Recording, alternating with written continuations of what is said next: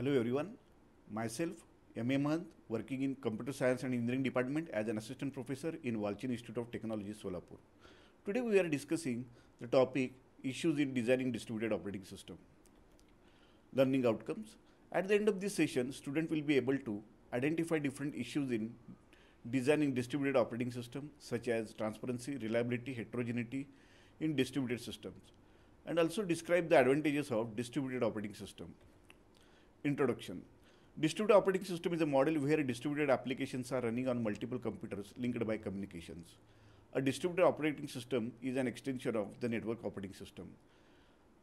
Actually, distributed system can be defined as interconnection of different computers by using communication network for sharing the resources.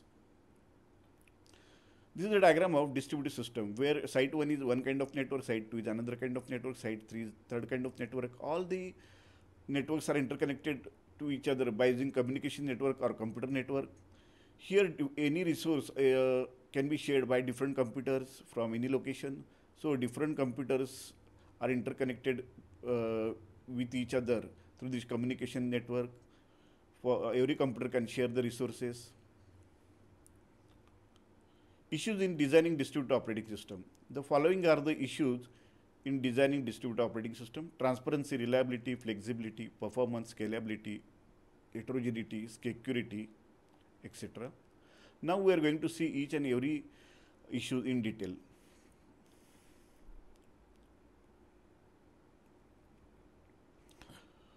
Transparency. The following are the different types of transparency, just like access transparency, location transparency, replication transparency, failure transparency, migration transparency, concurrency transparency, performance transparency, and scaling transparency. Now, now, in briefly, we are going to see each and every type of this transparency. The first one is access transparency. User unable to know whether a resource is local or remote. This is achieved by global naming for resources. Location transparency. There are two main aspects for this location transparency. The first is the name transparency, where name of the resource should not reveal any hint of the physical location of the resource. Second one, user mobility. A resource should be accessed by the same name from different nodes of the system. Both require a wide global resource naming facility. Replication transparency. Existence of multiple copies of resource and replication activity is hidden. Replica management issues.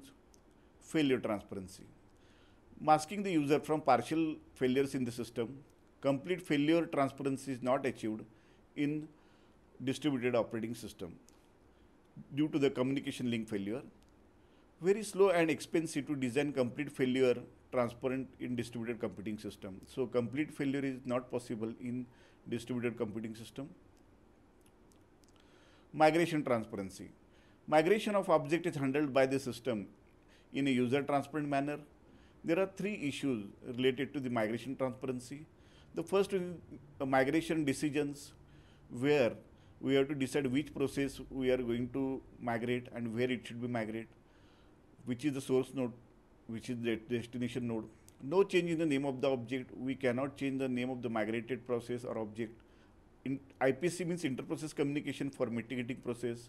So we have to think about the execution of that migrating process on the destination node. Next is concurrency transparency.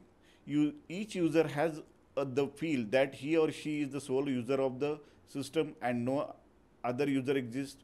For this resource sharing mechanism should have four properties, event ordering, mutual exclusion, no starvation, no deadlock. Actually, mutual exclusion means the two processes are accessing the same resource at a time so this is this situation is called as a mutual exclusion. Performance transparency. System automatically reconfigured to improve the performance as load varies dynamically, requires intelligent resource allocation and process migration, scaling transparency. System able to expand without disturbing the activity of the users, requires use of open system architecture and scalable algorithms, so we can add any number of clients, any number of servers in the distributed system. Also, we can add any number of resources in this distributed system. Next issue is reliability.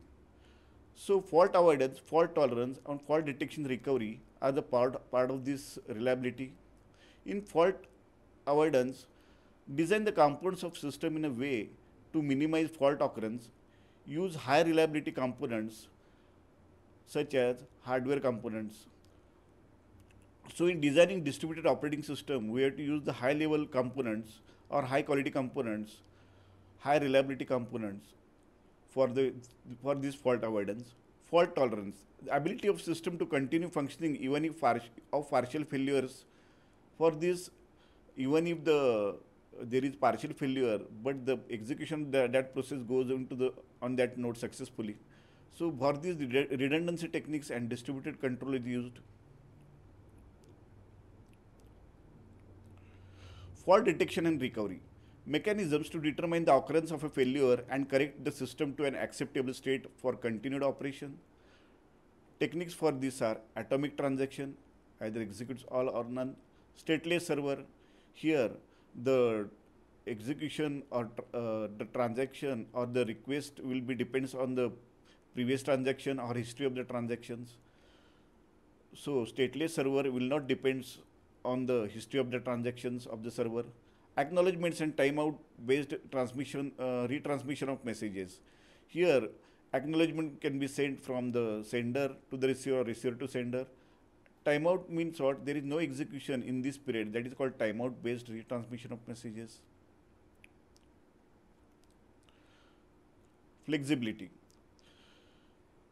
Ease of modification and ease of enhancement. Ease of modification means should be easy to incorporate changes in the system with minimum in interrupt to users. Ease of enhancement means it should be easy to add new services and functionalities. Monolithic kernel and micro kernel are supporting to this flexibility.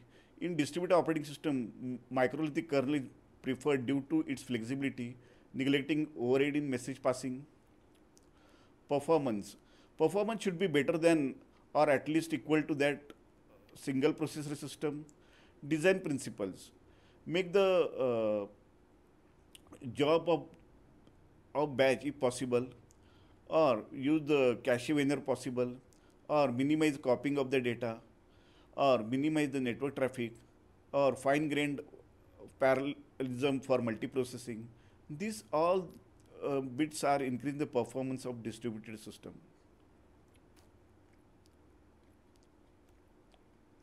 Scalability. Avoid centralized entities means keep uh, avoid the centralized entities onto the system. Avoid centralized algorithms.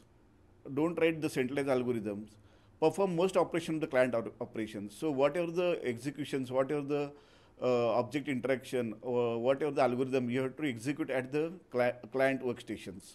So you can add any number of clients, any number of servers, any number of resources in scalability. Pause the video and write the answer. What are the heterogeneous issues in distributed operating system?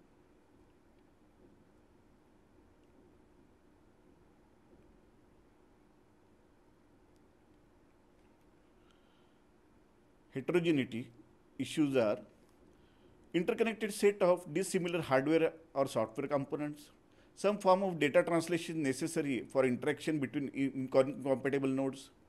This software complexity is reduced by using intermediate standard data format. So, uh, different systems, different nodes in the network or in distributed system, every node having different operating system, different hardware configuration, different software configurations. So every system is having different RAM capacity, hardware capacity, its processor. So it will be having different hardware configuration, even if this is the part of the heterogeneity. Also, different system is having the different data translation mechanisms. Also, there some systems having standard data format. So all are these are the issues of related to the heterogeneity. Security. More difficult in distributed system than a centralized system. So need three requirements. Sender should know that message was received by the authenticated sender, receiver. Receiver should know that the message was sent by valid sender. Sender and receiver should be guaranteed about the confidentiality of messages. Means we have to check that authenticate sender, authenticate receiver, and the confidentiality of message between sender and receiver. We have to write some encryption technique, decryption technique. We have to write some cryptography techniques, the practical method for dealing with the security. Here we have to provide the security to the uh, message data.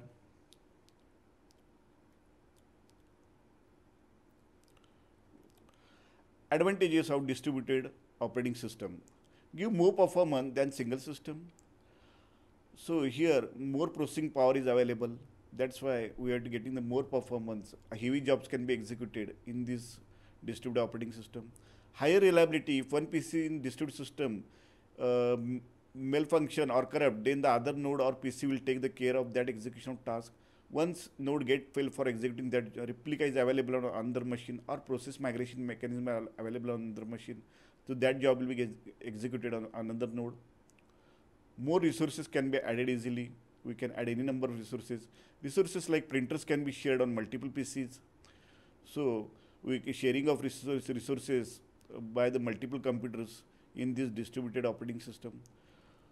A distributed system may have more than com total computing power than a mainframe.